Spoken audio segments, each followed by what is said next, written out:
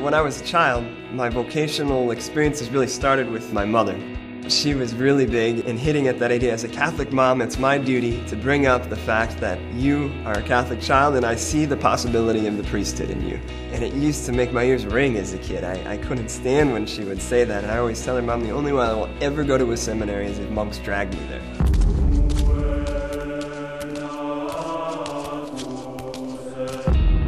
I went to college not thinking about the seminary at all by any means. My one thought was I was going to play baseball I was very excited about that and just started making some friends with some people that were more involved um, with their faith at my age, which was something new for me. I hadn't seen a whole lot of people in my age bracket that were really excited about their faith. And they really pushed me to really develop a deeper relationship with God. I started praying. And that was when life really started to change for me. After that time, prayed even deeper and deeper. I had a sense that I might be called to the priesthood, but I was just trying to figure out if I was called to the priesthood. It's kind of gone on throughout all of my life, and it's just gotten bigger and bigger and bigger, and I realized eventually, okay, this is what I'm supposed to do.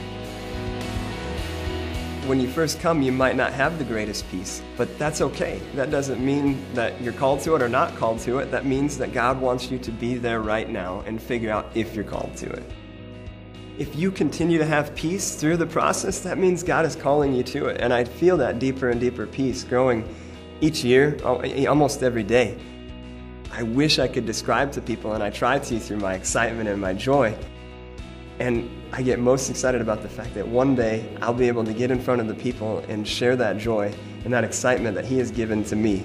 It truly is overwhelming to think He really created everything and He desires to know me and I'm able to have an actual relationship with Him, to spend time with Him. That's, it's a crazy thought. We often think, well, I'm going to do what I want, I got to do what I got to do. That's not going to bring us joy. The only way we can have the joy and the excitement that we desire to have is by talking with God and asking Him, What do you want? God desires to do something really, really big with each of our lives. The only way we will ever know what that is is by asking Him. Lord, help me to want to be what you want me to be. Know that God has a plan, and He will get you to where He wants you to be.